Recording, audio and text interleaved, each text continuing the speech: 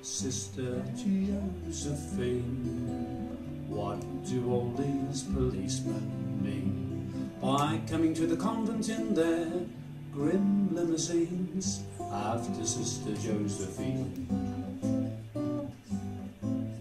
While you, Sister Josephine, you sit with your boots on the altar screen as you smoke your last cigar. What a funny nun you are. Admittedly, her arms are big and hairy and embellished with a curious tattoo.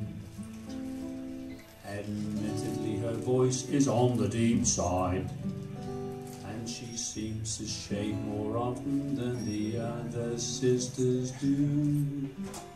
Oh, Sister Josephine, they're searching through the cloisters where you've been seen, the nooks and the crannies of the nuns' canteen.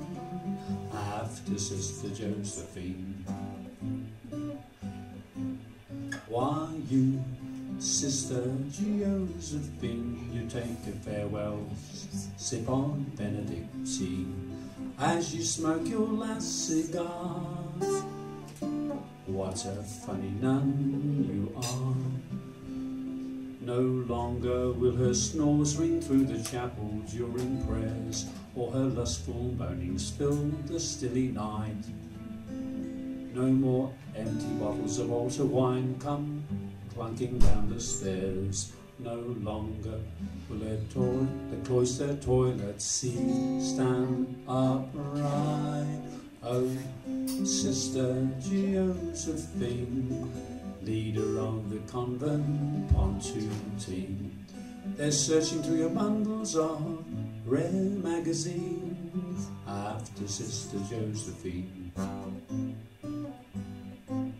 Why you, Sister Josephine, you give a farewell sniff a drink to the convent budgerigar.